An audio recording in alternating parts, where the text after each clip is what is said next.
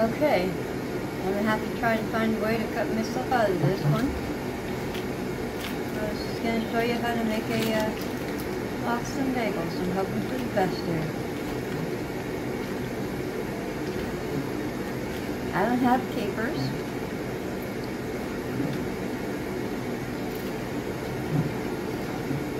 But down a nice spread of cream cheese.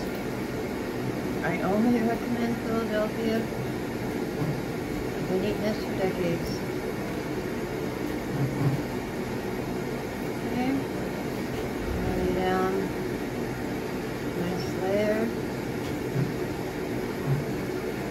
Red onion.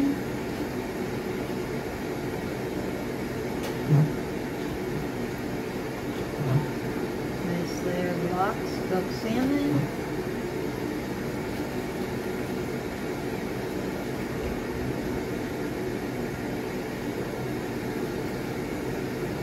The nicest tomato I can find. This one, let's see. Then,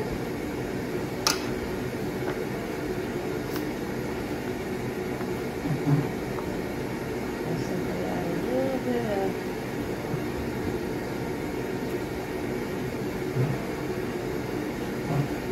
lemon juice.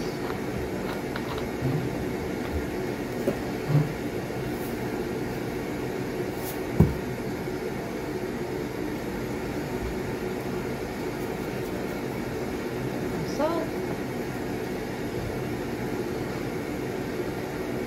Okay, we overdid it with pepper a little bit. But there you go.